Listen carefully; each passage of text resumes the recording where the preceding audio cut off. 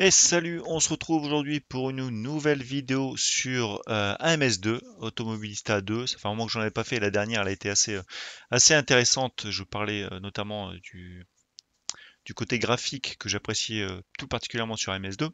Aujourd'hui, on va parler de la dernière euh, update qui est sortie donc sur euh, pour l'instant qui est en bêta. Donc à l'heure où je fais cette vidéo, c'est encore en bêta. C'est toujours pas sorti sur, euh, sur l'officiel. Ce sera de toute façon un contenu payant de ce que j'ai cru comprendre. Donc c'est sur Monza avec ses différents layouts. On va regarder ça plus particulièrement et plus précisément juste après la vidéo. Ce que je vais vous proposer, en fait, ça va être simple. Ça va être euh, comparaison en réel, ce que j'aime bien vous faire. Ensuite, euh, un petit tour de, de circuit de nuit et en fait quatre courses. Donc la première en standard, donc c'est toujours du deux tours avec la version que l'on connaît actuelle du circuit, la version euh, historique de 71, la version de 91 si je dis pas de bêtises, et la version euh, courte, je sais plus le nom exactement, avec une petite surprise, vous verrez à la fin de la vidéo. Voilà en gros ce que je vais vous faire, ce que je vais proposer sur cette vidéo euh, de présentation. Donc vous allez voir hein, dans les menus, il y a quelques petites choses qui vont changer, qui ne sont pas définitives. Donc je ne sors pas la vidéo euh, tout de suite, parce qu'en fait effectivement, il peut y avoir des petits soucis, parce que normalement on n'a pas le droit de montrer des vidéos tant que c'est en, bêta privée entre guillemets. Donc moi ça fait déjà quelques, quelques jours, quelques semaines que je m'amuse avec. Au fur et à mesure, ils améliorent, ils corrigent certains bugs, notamment l'IA qui a eu quelques, quelques petits soucis. Donc ce qu'on va faire, on va aller tout de suite dans le jeu, puis on va regarder ce que ça propose. Allez, donc on se retrouve sur le menu euh, du jeu. Voilà, on se remet ici, jour de test. Donc je vais vous montrer un petit peu le, contenu. Alors ici, on a le Monza, euh, j'allais dire classique actuel dans sa version euh, d'aujourd'hui. Ici, nous avons la version junior. On continue avec la version 91, donc qui vient juste de sortir. L'historique de 71 avec 7 virages. La version euh, junior historique. Et on continue. La version 71 10K, donc 16 virages. Et la version, oups, je me trompe, la version la dernière, c'est la version 71 10 KNC avec cette fois-ci 9 virages. Donc voilà au niveau du contenu, euh, du nouveau contenu par rapport à cette update donc sur Monza. on traîne pas plus, il y a quand même pas mal de choses à voir. On se retrouve tout de suite en piste.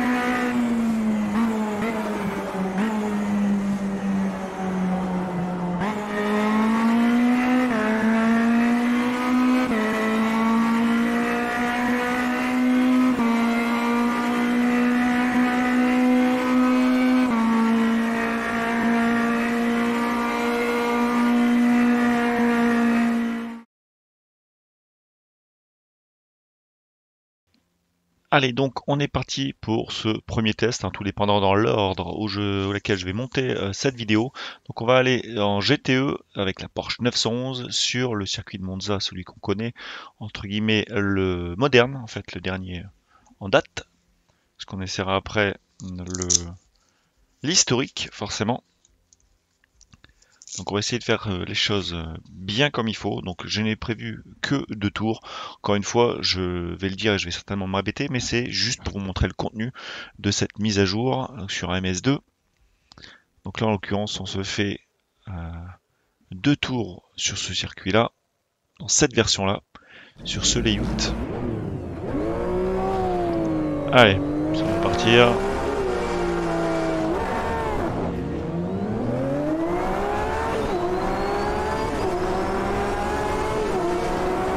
Allez, comme vous pouvez certainement le voir, on est en fin de journée.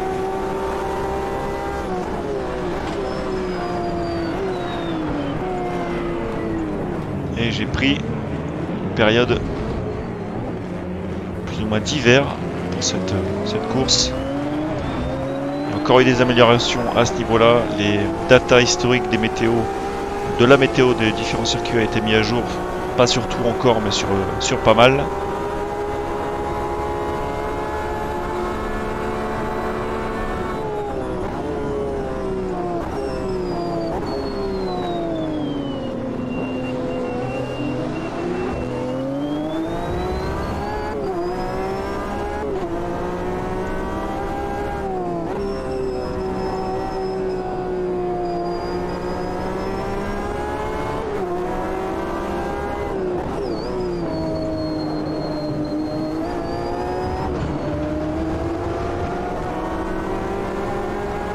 Vous voyez, ça change complètement euh, l'aspect du circuit. Le fait de ne pas avoir du tout de, feuillage.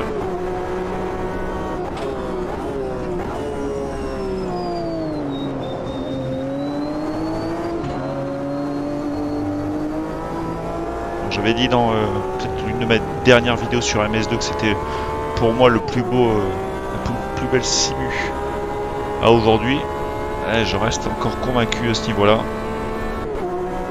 On parle bien de l'aspect graphique. sait pas à me sauter dessus et à me dire n'importe quoi parce qu'il n'y a pas de monde dans les serveurs et tout ça. Je parle juste de l'aspect graphique. Après le reste, bien évidemment, on peut en discuter.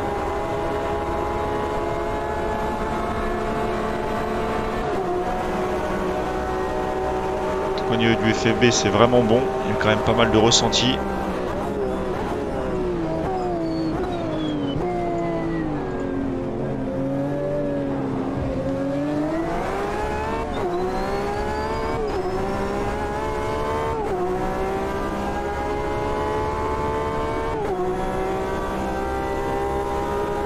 J'ai vraiment pas à me plaindre au niveau du FFB, hein. c'est vrai que j'ai déjà dit et je vais certainement encore une fois me répéter mais euh, pas mal de monde se plaint soit du train avant, soit des freins, soit de ci, de là.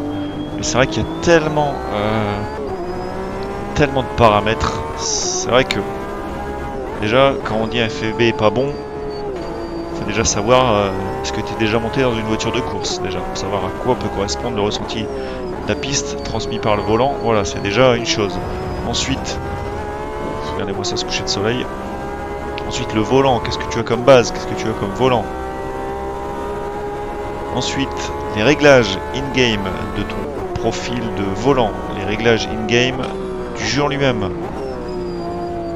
Et enfin, une dernière donnée qu'on ne peut pas changer, c'est ta perception des choses.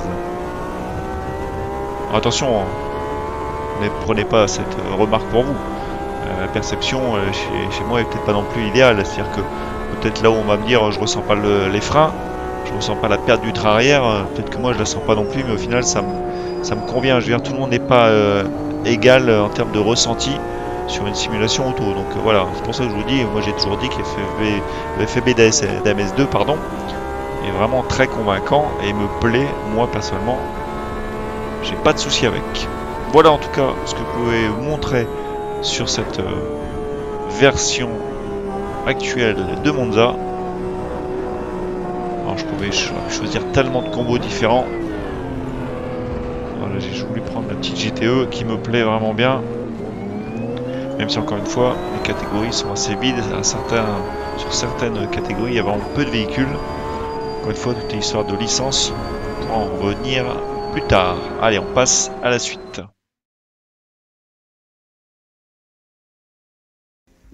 Allez, cette fois-ci on est parti sur la version historique, donc de 1971 avec la Brabham BT44.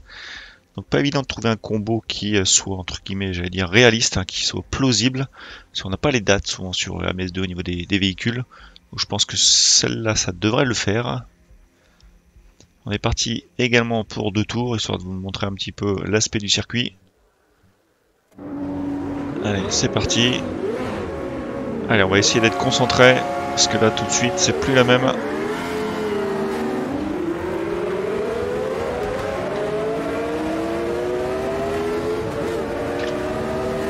Donc, encore une fois, je le dis, c'est en bêta. Donc s'il y a des soucis d'IA ou trucs comme ça,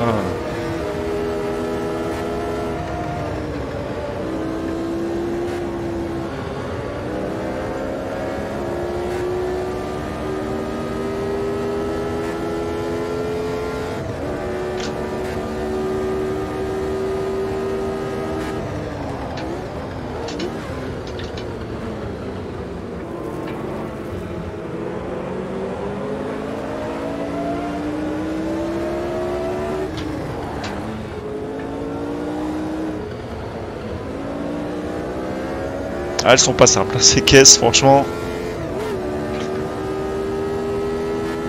Bien évidemment, je suis en full manuel, boîte en H.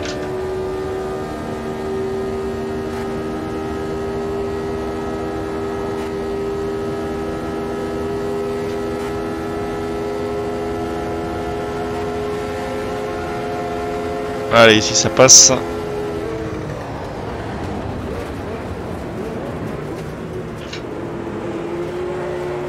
J'ai failli me tuer là.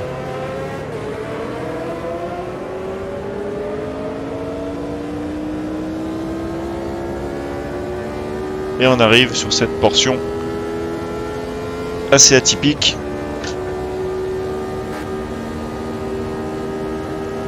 Et c'est à fond sur ce banking, double banking.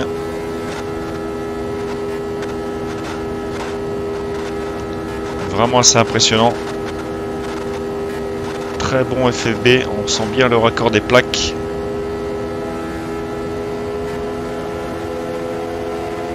On va essayer de les prendre ici. On est combien avec 3, 4 On va pouvoir remonter.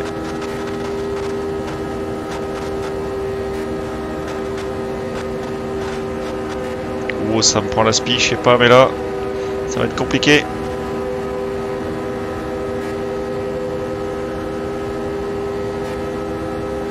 Attaquer en vitesse de pointe.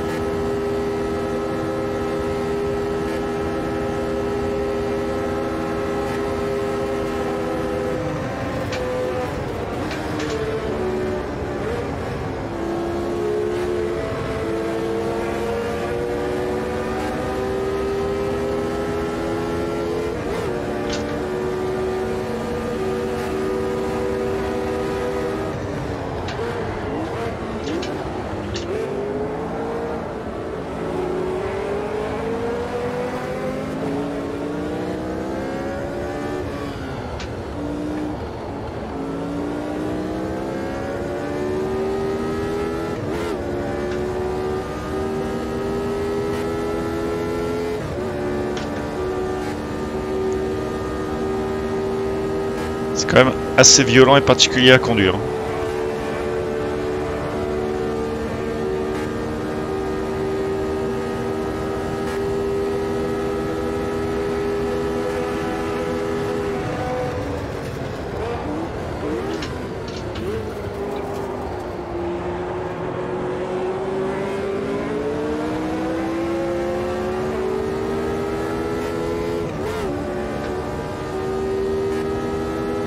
Dans les virages déjà c'est compliqué, mais à mon avis sur le banking tu devais... Euh, à l'époque tu devais prier à chaque fois où tu passais là-dessus. Hein. Euh, c'est-à-dire que si tu te loupes ou s'il y a un accident devant...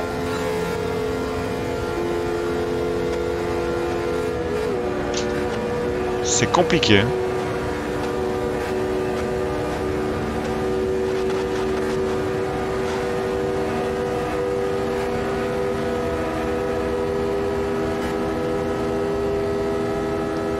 Passe devant et on va arriver sur la ligne d'arrivée, justement. Après ce dernier virage incliné.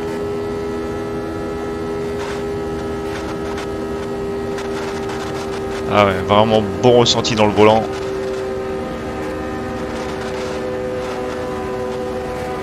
C'est vraiment intéressant. Ici c'était chaud.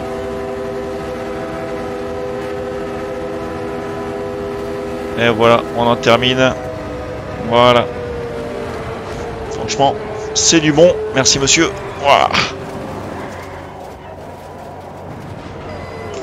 Et on s'arrête là. Allez, on passe à la suite.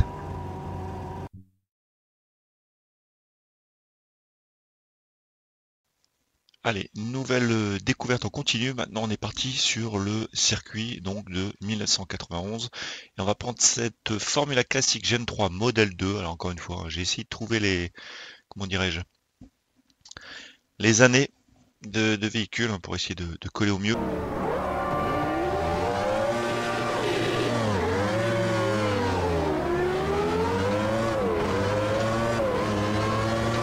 Ah oui, les vitesses sont très courtes.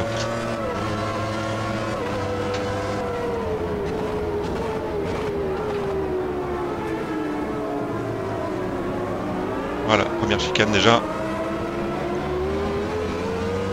Totalement différente.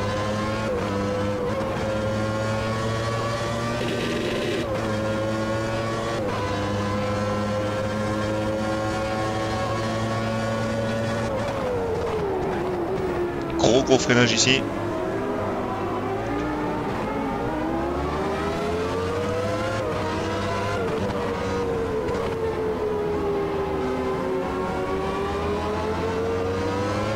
double droite. La configuration est vraiment totalement différente. Le circuit, euh, la forme entre guillemets, elle, reste identique. C'est surtout les parties chicanes qui, euh, qui changent.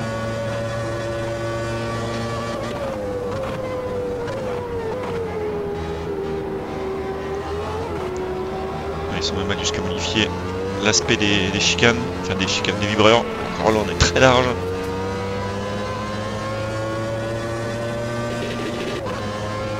assez plaisant aussi hein, ce tracé franchement.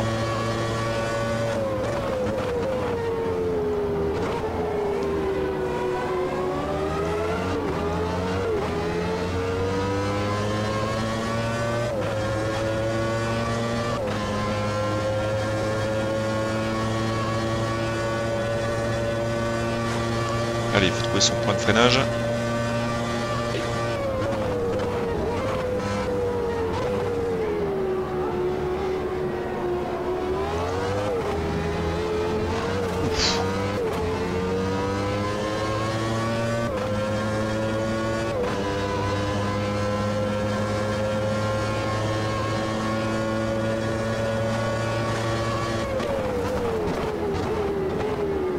pas du tout à combien va être le pack parce que franchement c'est assez garni en termes de mise à jour.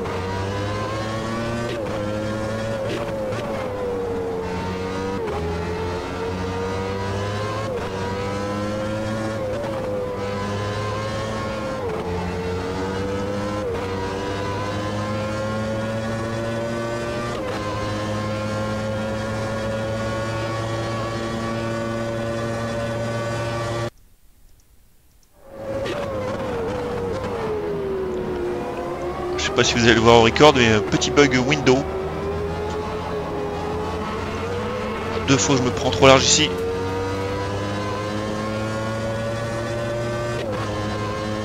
Tant quand je fais des vidéos, c'est un peu de la découverte aussi pour moi.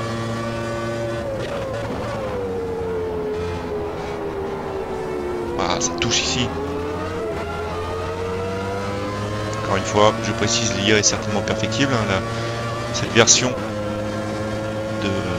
Monza vient juste d'être mis disponible sur la bêta. Donc euh, voilà. Encore une fois, on excuse un petit peu l'IA. Il y a plein de détails hein, que je pourrais vous montrer au niveau du circuit. Mais franchement, je trouve sort, encore une fois, c'est du bon boulot. La partie là ici, elle est vraiment intéressante, je trouve. pas une version pour laquelle j'ai vraiment roulé énormément. Donc encore une fois, beau boulot. N'hésitez pas à me dire ce que vous en pensez et on passe à la suite.